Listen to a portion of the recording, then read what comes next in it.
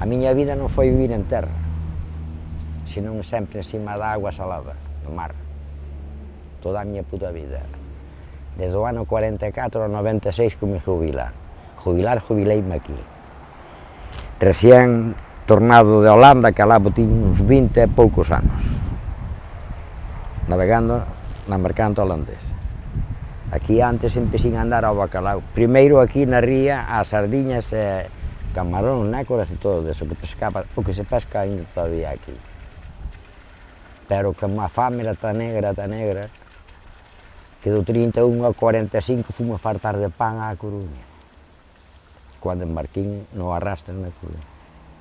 Ali foi onde me fartei de pan, que antes non me fartara de pan. Non era porque non tuera gana dele, porque non había nin a donde botar a man eh, aquí daquela na miña era tu eras 12, a min botarme antes dos 13 anos da escuela para traballar, senón non, non se comía. Empecé a andar aquí ao mar na ría esta da Arousa, solo polos peixes para comer, que non ganaba nada. No 44 peso, xa empezaba a ter 13 anos e pico, 13, aos 14 daron a documentación eu, larga. Xa me larguei daquela, cun pantalón de mamón, remendado con petacho por todas as partes, que non tiña que poñer, e como a min éramos moitos, que non era eu solo. E fun pa Coruña, ali empecéi. Andando ali ao arrastre nos pous da Coruña, Luego fume para o bacalao, alá botín 15 ou 16 anos andando aos bacalaos, no Gran Banco de Terranova unha miseria, unha calamidade, unha cousa algo espantosa, moi, moi negativa.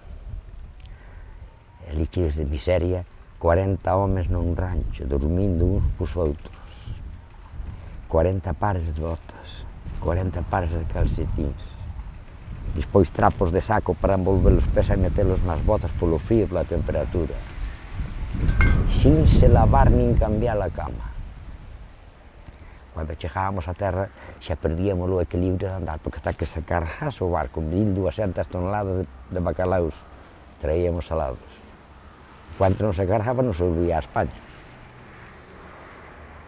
E tiña o barco autonomía para uns 90 días, 90 tantos, sin ir a terra lá a Neuforlán.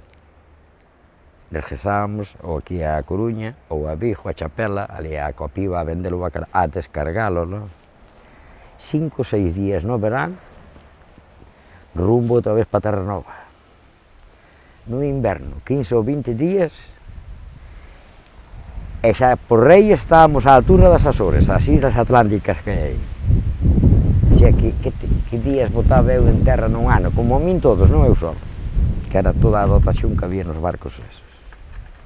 E así nos pasamos a vida hasta que tuve que largarme para Holanda. Cando abriron as fronteras xa fun, xa me larguei. Cando empezou a haber a crisis mundial da, da, da mercancía dos, dos barcos, que se empezaron a xuntar compañías a todo, entón se tiña que traballar ali tres meses e vir botar unha a casa, pero eu non, eu non traballaba para Renfe ni para Iberia. E a maior parte dos cartos tiña que pagarlos en viaxes.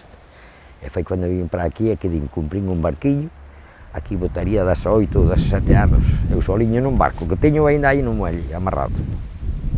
Ainda o conservo porque me ama, a ele a min e eu a ele. Pero non ten venda, non eu quixo vender nunca, nem penso vendelo, penso traer para aquí, para a horta. Cando eu estira a pata, despois que o rife.